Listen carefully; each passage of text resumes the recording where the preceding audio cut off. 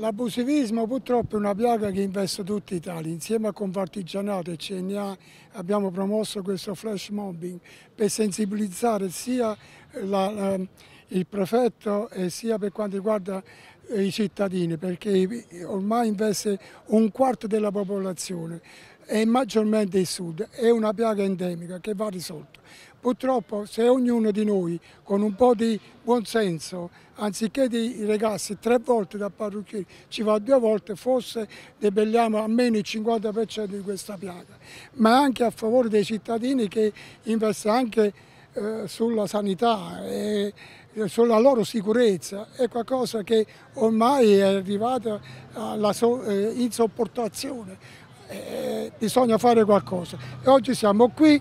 per ribadire con forza di stare a fianco delle, delle, categorie maggiormente colpite sono i parrucchieri e le estetiste e questo lo ribadiamo davanti al prefetto. Eh, è un fenomeno che va debellato assolutamente, quindi eh, credo che questo sia un punto di partenza. Oggi l'obiettivo è quello di sensibilizzare sia il prefetto, quindi le forze dell'ordine, ma soprattutto la cittadinanza, perché eh,